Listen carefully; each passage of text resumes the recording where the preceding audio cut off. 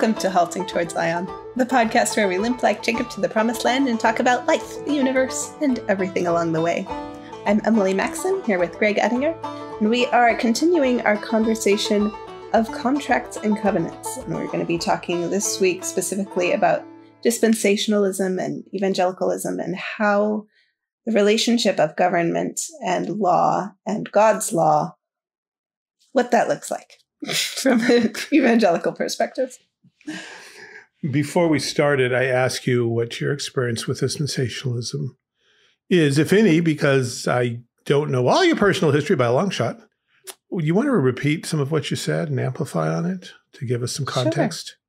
Yeah. So I was sort of brought up dispensationalist, um, only in the sense that I thought that was the default view of Christianity.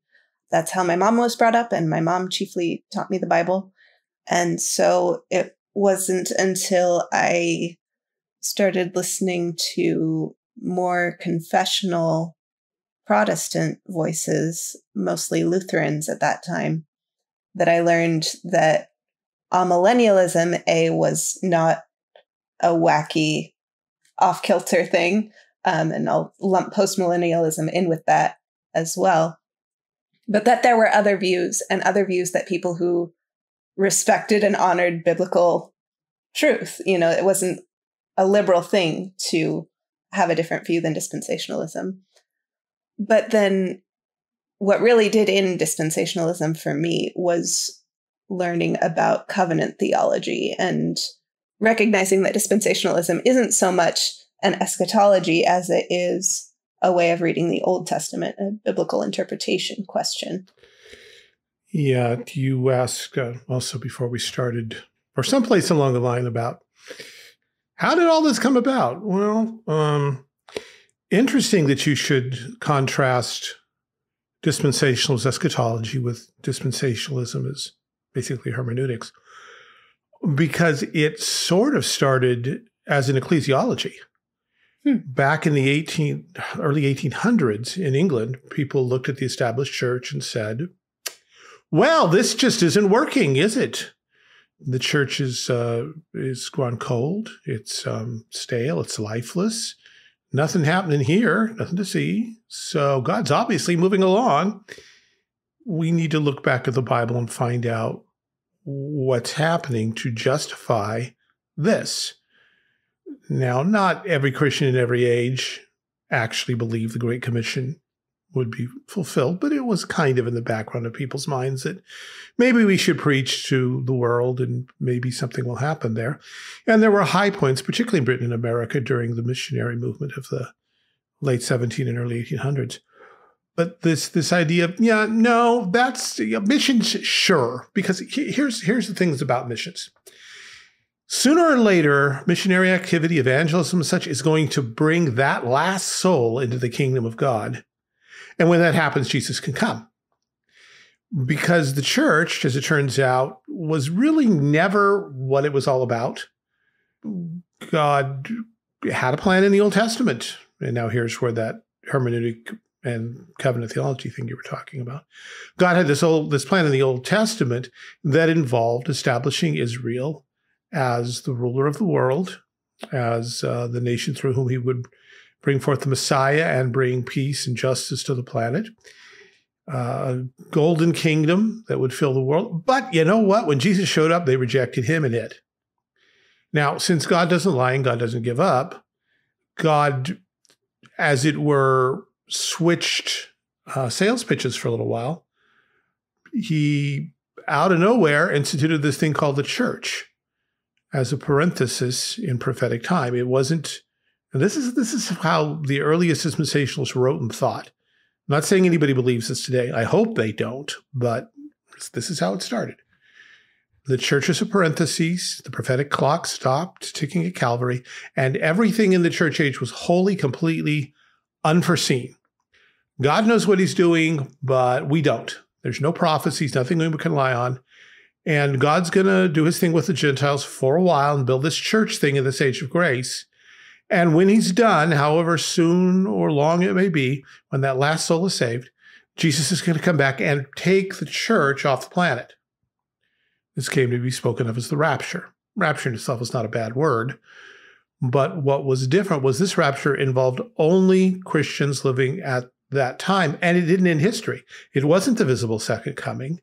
It became more and more described as a secret coming, a secret rapture hmm. um, that would bring about a period of tribulation during which all the horrible things described in Revelation would happen. And then when that was over, then Jesus would return visibly in glory to set up the promised kingdom.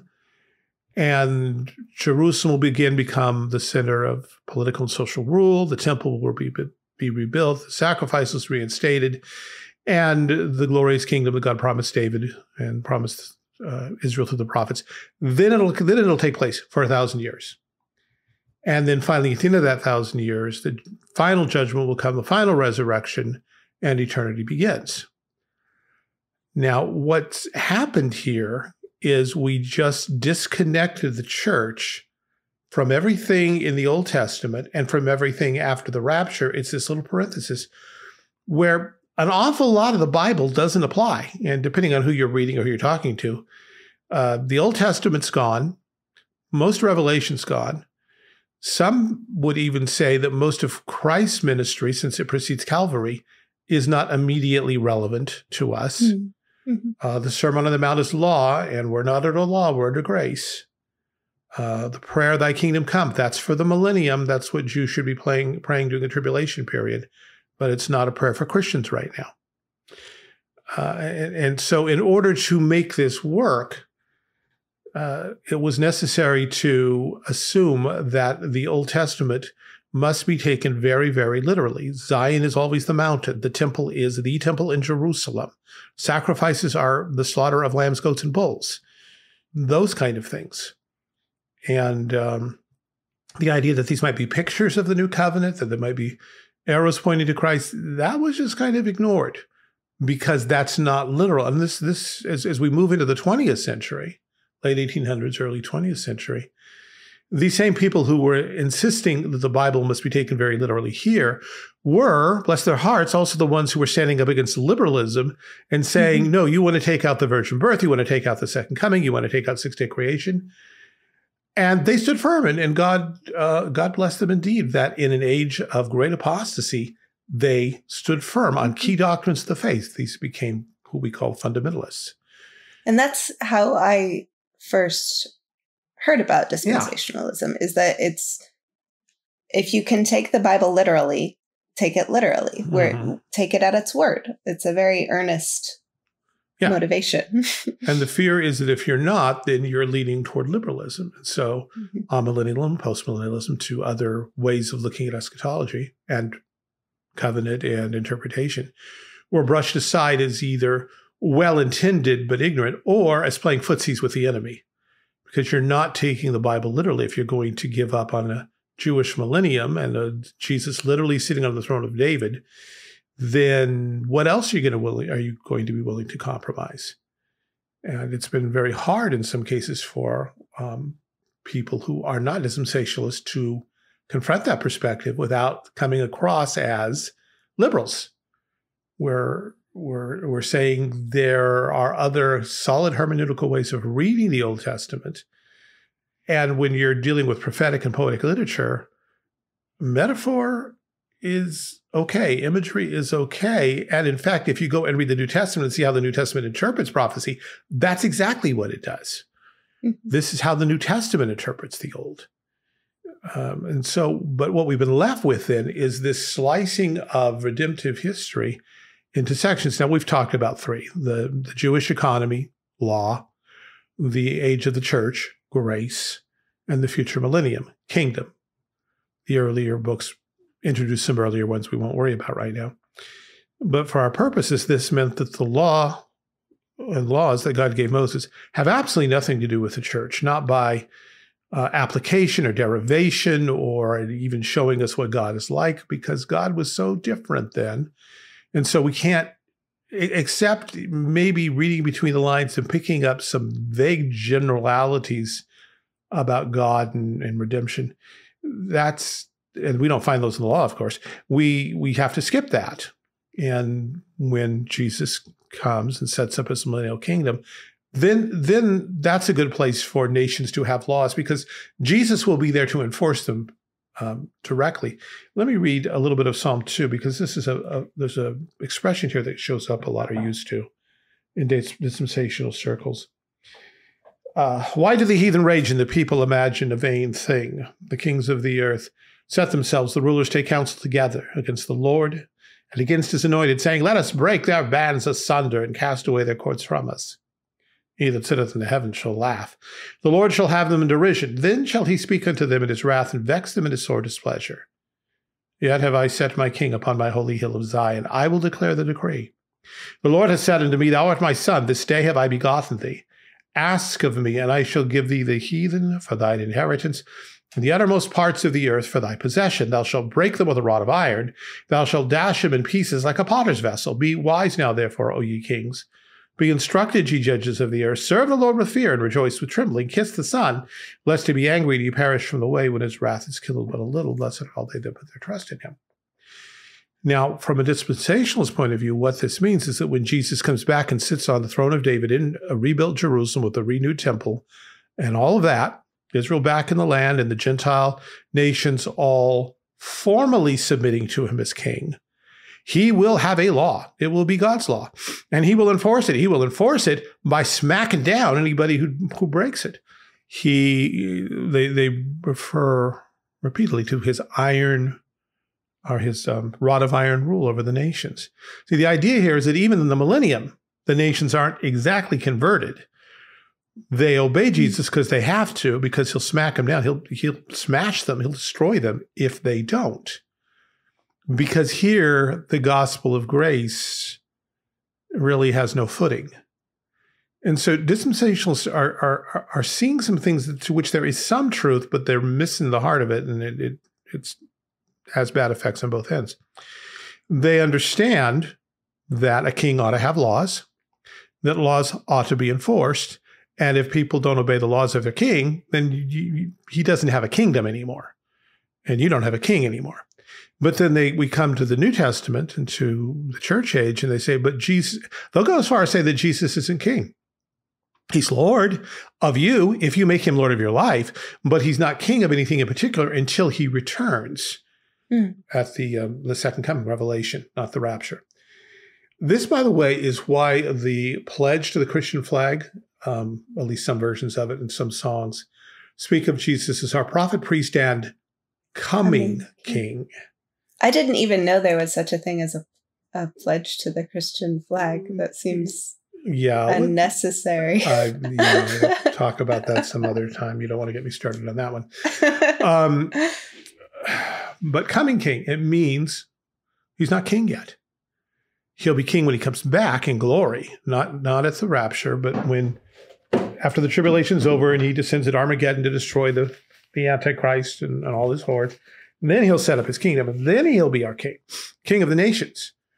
And what they put with that is, oh, and then that's where all those optimistic prophecies come to play. Ask of me, and I will give you the heathen for thine inheritance, the uttermost parts of the earth for thy possession. He'll have dominion from sea to sea and from the rivers to the ends of the earth. They dwell in the wilderness shall bow before him. His enemies shall lick the dust. The kings of Tarshish and of the isles shall bring presents. The kings of Sheba and Seba shall offer gifts.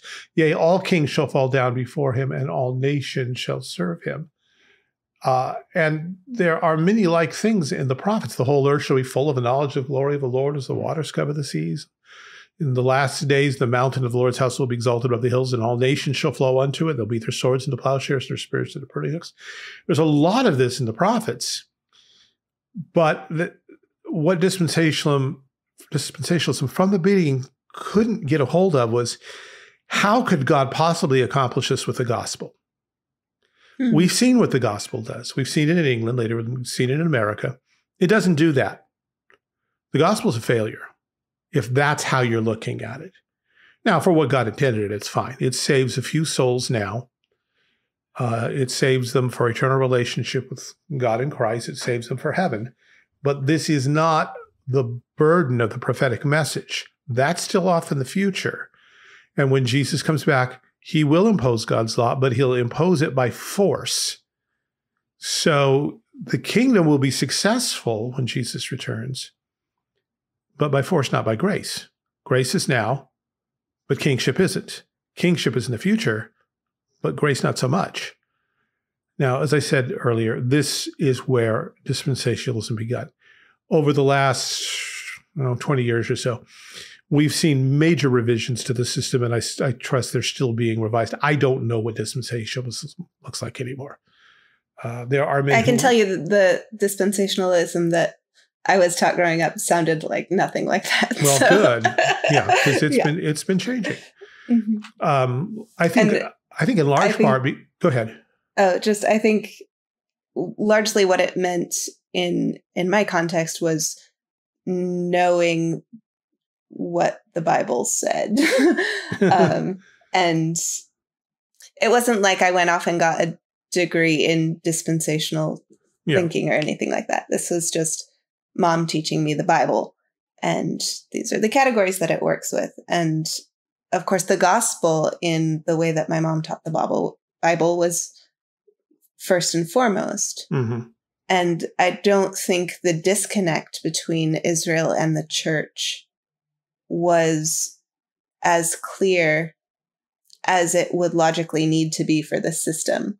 Yeah. You know, um, I think it's one of those blessed inconsistencies where those who hold to this view have a much more gracious and correct gospel belief than the system itself would. Which is not unusual for. where systems are concerned. When right. you have a, when you have a, a, a false or incorrect system, and you try to impose on people who actually read the Bible more than yeah. they read the theologians, you're mm-hmm. probably not going to get something that wacky. For instance, let me give you a, a practical example in a different direction, though. Um, because the church was an unf- unforeseen parenthesis outside of prophecy, this this this was a key moment. It meant that there literally were no prophecies that had to be fulfilled before Jesus came back. So Jesus could come back any second. There's mm-hmm. nothing we're waiting on. There's nothing he's waiting on, except his. If you have Calvinist leanings, I suppose that last soul he wants to see one, but that's hidden in his heart. Um, there's nothing out on the on the playing field of history that he has to wait for. And so they spoke of the imminent second coming. And that's how they mm-hmm. understood imminent, that we're not waiting anything. It didn't necessarily mean soon, although generally that's how people understood it. They would say he can come at any time. I had an interesting brief conversation with one of our teachers once upon a time, and I tried to explain the differences. So he can come at any time. Yeah, so he can so he's coming soon. No, that's not the same thing. any time could be a long way off. It doesn't mm-hmm. have to be soon. But the point is, nothing, it gave this benefit to evangelism of Jesus could come tonight and you could be left behind. but that's what the system said. What people heard was, well, you know, there are wars and rumors of wars. There are plagues and earthquakes. Uh, Russia's uh, gearing up in the north. Uh, Israel returned to the land in 1940. They kept finding things that, if they weren't the fulfillment of prophecy, were real close. Like this isn't exactly the fulfillment of prophecy, but the moment the church is gone, it'll be that. Russia will become the northern power that invades Israel. The um, uh, European Common Union will become the revived Roman Empire um, Jerusalem or the Jews in Jerusalem will rebuild the temple. It's just it's all set. Technically, yeah, none of this is prophesied, but but we know what is, and boy, are things getting arranged for that moment when the church is gone and all this can happen. And so now you have the best of both worlds. You can say Jesus is coming back any second. I mean, Jesus can come back anytime, but he's probably coming back real soon because all of the pieces are coming into position. Mm-hmm. And so anytime no longer means anytime. It means sometime real soon. Mm. Um, and again, this is because people didn't really buy, didn't understand the system. On the other hand, you have people who would read the Sermon on the Mount and say, "This is Jesus' words." Of course, we believe them, mm-hmm. even though the system questioned that. Believers who simply read the Bible, but this is Jesus talking. yeah. Golden rule. I think we should be attitudes. Yeah. Lord's prayer. Ah, it's okay. You know. Mm-hmm because as you and, say, systems often people are generally not as bad as the systems they claim to hold, except when they are, and then they're dangerous. Well, there's also the problem of the confusion of law and gospel, mm-hmm. um, which is a sharp distinction. I think sharper than should be in dispensationalism, as you've described its origins. So then, as the evangelical church sort of went forward and started confusing these categories, you're able to sort of squish the Old Testament and the New Testament together and make room for reading the things that dispensationalism said there's no need to read anymore because they're law. Well, if we don't have the proper distinction between law and gospel, then what's the problem? We can read the whole thing. So it's kind of an error that happens to work out more right than otherwise. Depending who you're talking to, right. that, I've heard it both ways. uh, so that kind of brings us to what we are in fact talking about, which is uh, civil government, contract versus covenant. The Bible always speaks of civil government as something that's covenantal, in the sense that God is in charge. God invented it, God ordained it. The powers that be are ordained of God. I mean, there's, there's nothing revolutionary in saying that. So God represents himself through particular people who are to enforce what? His laws. Now, we can talk about which laws and to what degree and with what penalties and all of that. Uh, the, the catechisms and confessions of the Reformation were very clear the moral law of God.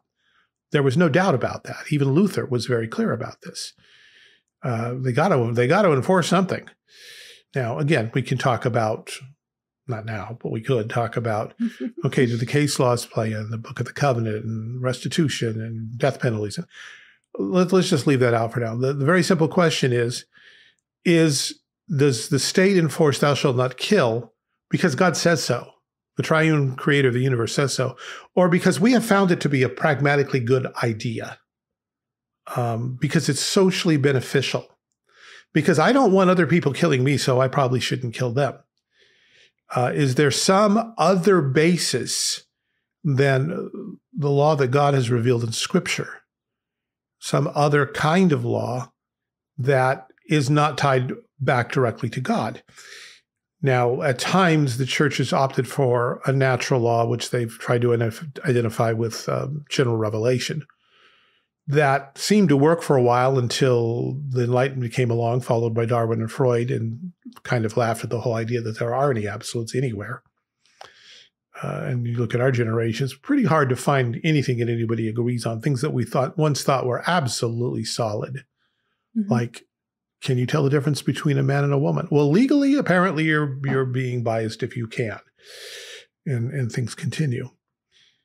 And there are this the civil government, God gave it the sword, Romans 13 says. God gave it to them. They bear the sword. Well, what do you do with the sword? You kill people. You don't tickle them. You don't render education or Medicare you could hit them with the blunt side, but only with the understanding is that's your first warning, and the next one's going to be the pointy end. Uh, it is violence. The state is organized violence with a particular goal. And this also answers the question of why do we have to obey last year's government? How do hmm. we? Ha- why do I have to obey a government I didn't vote for? Isn't it all about free consent and all of that? And and the evangelical church really has nothing from the Bible to answer it with because those kind of things, the Old Covenant's pretty clear about it. And if you read the New Testament in the light of the Old Testament and the Old Testament light of the New, it's not that hard to put pieces together. But when you simply say, yeah, law, that's Old Testament, Old Covenant, not for us. Bring you mentioned the law at all, you're probably a legalist.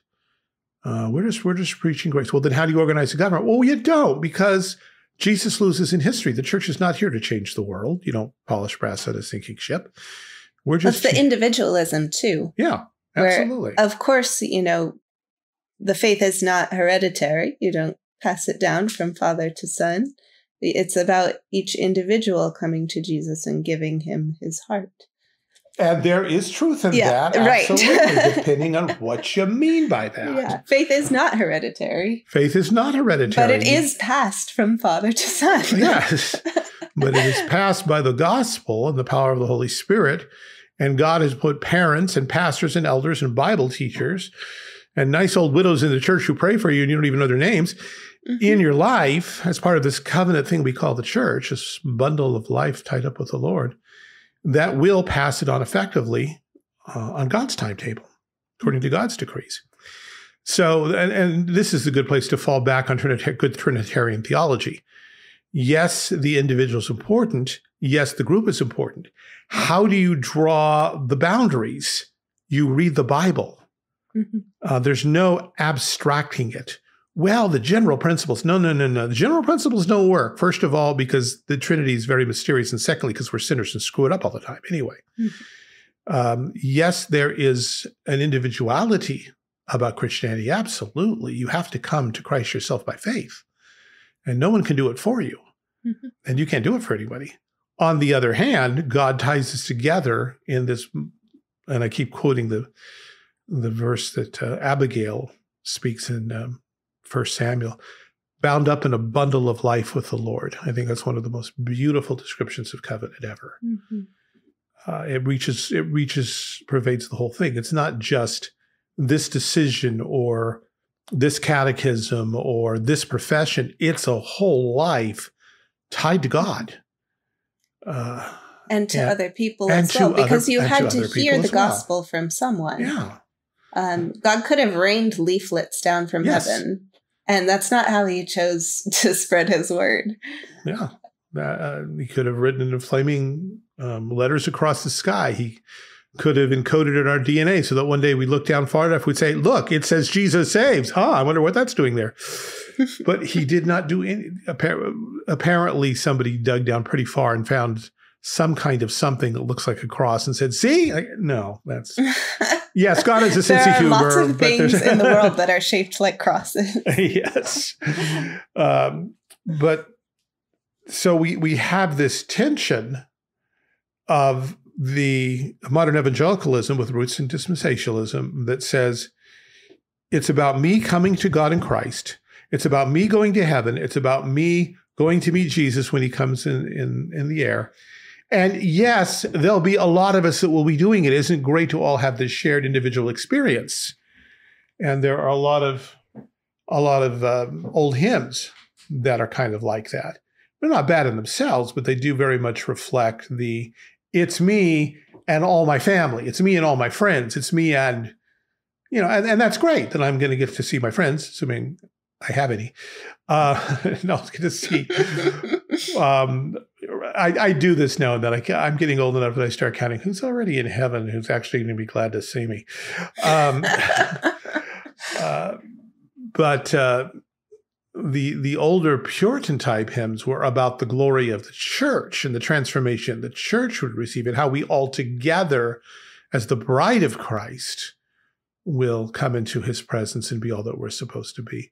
And there's truth in both places but you have to keep you have to keep going back to scripture to maintain that balance because mm-hmm. if you just pick one you will go with that one and you'll fall off some deep end someplace or get trapped in some dead end alley where you can't you're, you're stuck and your your faith languishes because you're not really seeing all that God's saying to you. Well, back to contracts and covenants. So, since dispensationalism didn't have a biblical answer to civil government, did not see a need for one, did not think the Great Commission really was ever going to be fulfilled. The best you get is where the church is going to bear witness to all nations, not with any particular degree of success expected. So, what do we do in the meantime? Well, we watch the world go to hell. We expect Satan to, take over. We expect that every political intrusion of the church will get it slapped on the nose and will walk away embarrassed and, and think of the Scopes Monkey trial here, or the church's attempt to have creation taught in the schools or to reinstate prayer and Bible reading. Seems that every time the church tries to do something, it fails, which is just more evidence that that's not where we should be. And, and our brothers will look at us and say, well, it's well intentioned. We're glad that you care, but what you what you want is what Jesus is going to do when he comes back. In the meantime, We just need to witness and and and win people to Christ so that Jesus can come back. Because we're not talking even about sanctification. We're simply talking about saving souls for heaven. Well, what if the, for the few dear souls who do want to get involved politically, what's left to them? Well, tra- traditionally in America, what's been left to them has been John Locke and the American system. And you get this elevating America, the Constitution, the Declaration, all of that, all of our political heritage, uh, seen as rooted primarily in Locke, uh, who introduced, was one of the Enlightenment writers who introduced um, compact or contract theology. Say, that's it then. This, this is the best system. God providentially gave us this wonderful thing that's protected the church and, and our right to evangelize, to worship. So, however it got here, it's it's the best we got because you obviously you can't force people to buy into a political system when they don't believe in the religious underpinnings of that system. I mean, if we were to say, well, this is a Christian country and we're going to, our laws are going to reflect the Bible, well, how about all the people who aren't Christians? That's not fair to them. Okay. Do you understand that whoever, whatever law system you pick is going to represent a philosophy of life, a worldview, a religion, a morality, a, a morality, and you must pick one. You, it, it's not Christianity versus some neutral thing. It's Christianity versus anti-Christian alternatives, even if they come dressed as sheep. And, and so um, we, I, I see people who kind of get this, and then they and they look at their churches, and their churches are flying the Christian flag and the American flag, mm-hmm. and they celebrate Fourth of July with um, singing songs about how great America is, and there is properly discomfort. Like that's not right. No, that's not right. But that's what happens. And if you're not going to derive your morality, your ethics from Scripture, then you're going to get it from someplace. The 1950s, the antebellum South uh, colonies, the founding fathers, the whole principle. I don't know if you know the principal approach to education. I won't bore you with the details, but it started when two dear ladies um, became fascinated with our founding fathers and saw that there were certain character traits that they all seemed to have in common that enabled them to be such great men in that great era. So they went back and looked at their writings and found what the traits were. And then having found them, then they looked in the Bible to see if the Bible could lend support. Hmm. Yeah. Seems a little backwards. Yes, doesn't it? Now, I am not misrepresenting this position for those of you who know the principal approach, because I used to work for one of the leaders in the movement, and I asked him point blank, "This, this is my understanding is this. This is correct." He said, "Yeah, that's it." But what that's what you're left with. You have man cannot be amoral. We can claim we are, but we always act as if some things are right and some things are wrong. The people today who hate Christianity the most are the same people who are trying to pass laws telling us that we shouldn't do certain things because they're wrong. They're hate crimes. They're vicious. They're mean. They're totalitarian. They're fascist. Problematic. Yes. You got to serve somebody, as Bob. Dylan said. And once you admit that, you're talking covenant again, because God's a covenant keeping God. Mm-hmm. He's not. He's, he's not an election. He's not. Well, God. God's in the running. Shall we vote for him this season, or shall we try something else for a while? The uh, and, and here's. I, I, suspect we're running out of time, so mm-hmm. back back to the key point that we've we've kind of circled around, but let me smash the nail down. Dispensationalists could understand how the church could survive the drift toward uh, latitudinarianism and coldness that it was experiencing in the in the 17 and 1800s, and and therefore dispensationalists, the proto-dispensationalists, were ready to declare defeat. The gospel didn't work. It didn't. It couldn't change nations. The only other thing would be Jesus to come here by force, which still they they realized still would not change men's hearts. In other words, all that we can ever hope out of humanity is that a few people of their own free will will choose Jesus because nothing else works. Uh, there was one writer not long ago, well, not long ago, maybe 10 years or so, who wrote that even the millennium, even the kingdom age, is not the coming of the kingdom of God. It's just more proof that even if Jesus himself is here executing his laws in person, it still will not change people's hearts.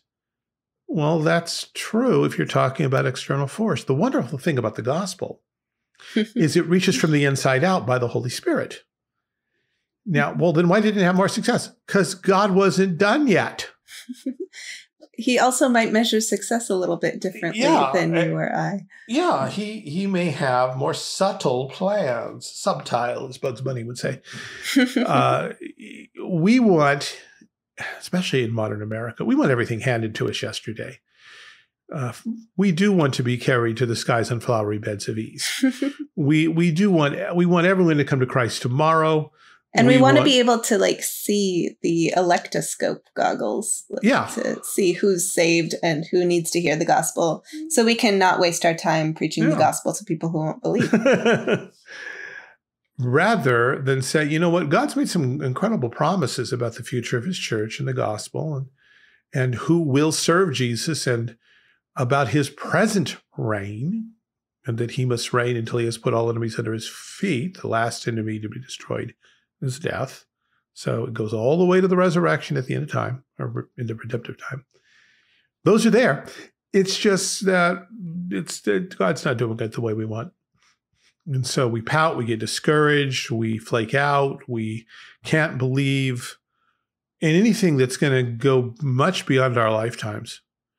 I think a, a, good question to ask a lot of young people, even older people, is Do you think you're going to die? Uh, my generation, the answer would have been no.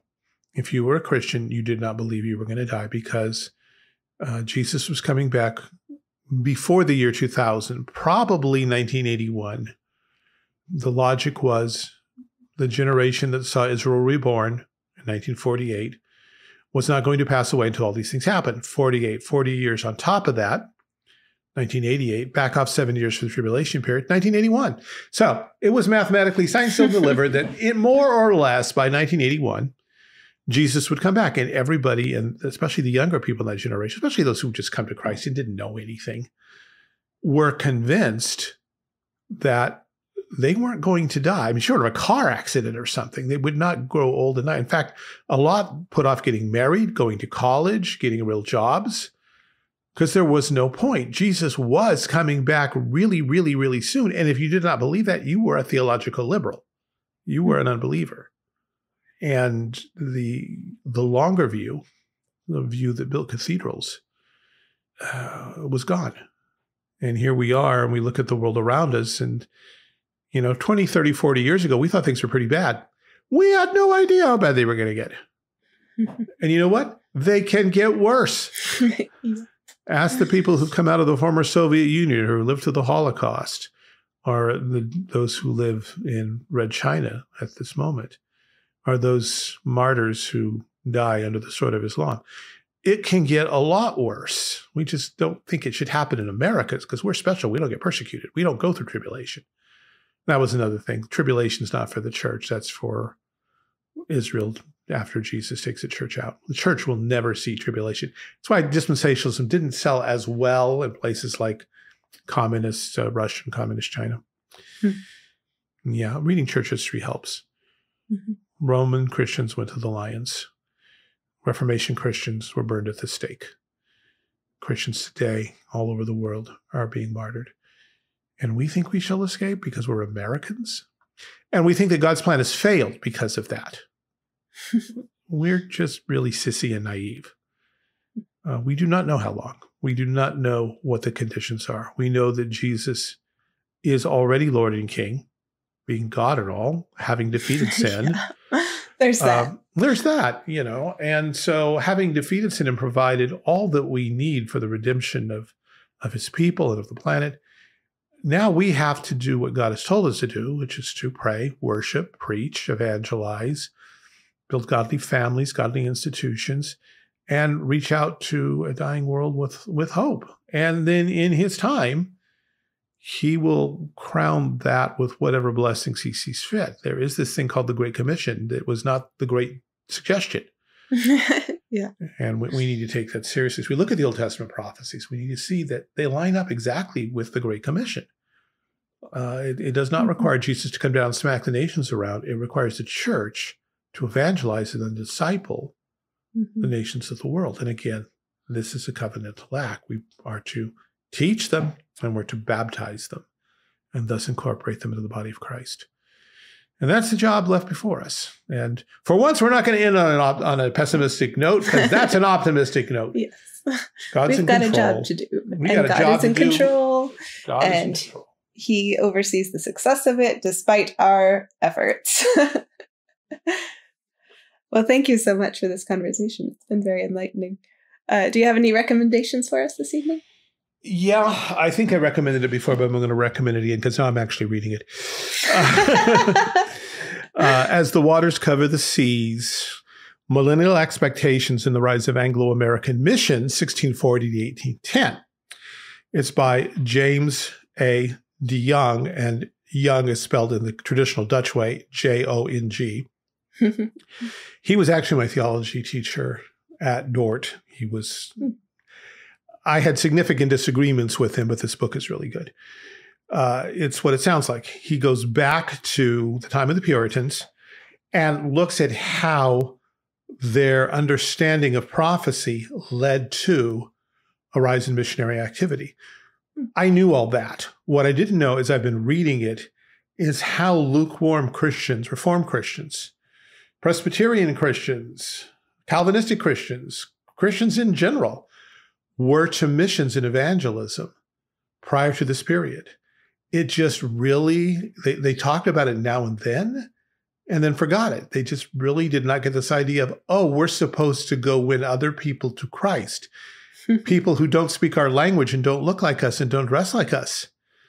And and maybe even people the next town over who don't quite have our dialect and don't speak like it's it, it, was all about purifying the church and our commitment to one another is the the the, the covenanters and the congregationalists and it was kind of turned in on one another. The Scotch Presbyterians were a little stronger, as you know, the Scots are for the Scots, and, but there really still wasn't initially a great deal of zeal. It was it was came as kind of a, oh really, we should evangelize, we should fund missions, huh? That's an idea. It, it was it's like reading an alternate history from another universe. like, you're kidding the church was never this stupid, was it? Apparently it was.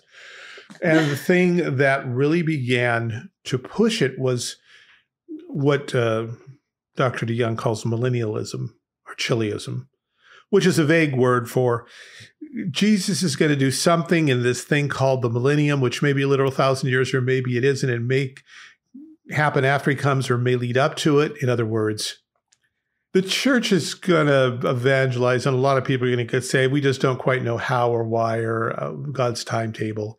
And what eventually would be postmillennialism and, and um, premillennialism both came out of this. But at this point, it was simply God's planning on saving a lot of people. Did you know that? The prophets say so. Oh, and, and he wants you involved.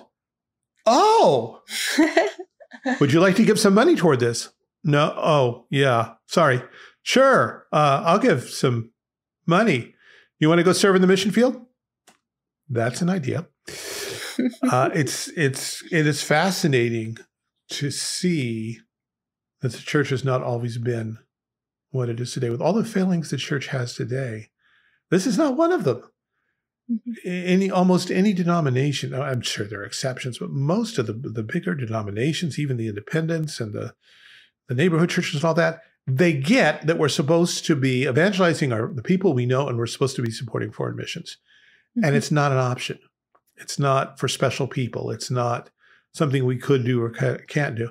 This this is part of the church's ministry. It's a huge part of it. Mm-hmm. And to see that there was this period in time where people didn't even remotely get that and then began to be swayed by the vision that the prophet set before the church to finally get involved is kind of a um, paradigm shift for me, I guess, of, uh, where uh, church history is concerned. Hmm. You know, the, the, we've always said, well, the reformers didn't reform, be, didn't evangelize because they were busy, which is true enough, because getting persecuted. And yet, when the first generation went away, nobody picked up the torch. There, there were a few exceptions here and there. but it's not that big push. And what was there began to die down. City on a hill, yeah, for England, it took a big push to get the Puritans interested in evangelizing the Indians. Mm-hmm. Uh, not till uh, John Eliot's work did it really begin to click, and then when he was gone, it faded again. Anyway, it's it, it it's a, it's written kind of like well, it's a master's master's or doctoral thesis, probably doctoral thesis, and it's uh, so it's not fun afternoon reading, but it's if you're interested in these things, the connection, the practical implications of, of eschatology and prophecy. You know, so often we're told, well, it's not a salvation issue. Well, parts of it are, parts of it are not maybe your salvation, but are we going to go work on saving those people over there? Or are we convinced that there's no point because God doesn't plan to save many people anyhow? Hmm. What's your recommendation? I'm going to recommend The God Particle, which is hmm. a play by James Carey. It's available, a filmed version of it is available on Vimeo, I want to say. Um, but it's a romantic comedy about an Anglican vicar who meets a quantum physicist. and um, they don't exactly hit it off, or rather, she doesn't think they've hit it off because she spent the entire time railing at how she thinks faith is stupid. And he says, Well, I thought we had rather a nice discussion. Um, but it's quite funny, very enjoyable. It's not too long. I think it's about an hour and a half. Um, but David and I watched it a few evenings ago, and it was it was just really fun. Um, lots of bookish references. you can tell that the vicar is someone who's been educated in the um, British bookish way. Mm-hmm. Um, his name is Gilbert, um, and he says, "I know what you're thinking. I must be named after G.K. Chesterton." And the quantum physicist wasn't thinking that at all. so, anyway, it's a good time. It's uh, funny. I went for Gilbert and Anne of Green Gables, but you know, and oh. then Gilbert and Sullivan, and I forget that the G stands for Gilbert. Hmm. Okay, very good. Where where did you access this? You can find it on Vimeo, and if we have show notes, I'll put it there. Um, okay. It'll it'll not be free. I think it's uh, ten dollars or something to. Watch, okay, well that's nice. Nice to warn people. Yeah. Okay. All right. Well, thank you so much. Thanks also to David, our producer, and my lovely wedded husband. Uh, thanks to Brian Broom, who is usually here. Thanks to you, our listeners. We appreciate you tuning in. Thanks to our financial supporters. We appreciate you keeping the show rolling. If you'd like to join the number of our financial supporters, you can visit our website, anchor.fm slash halting towards Zion. And if you'd like to get in touch with us, you can always send us an email. That's the best way. Uh, you can reach us at haltingtowardszion at gmail.com. Thanks so much. We'll see you next time.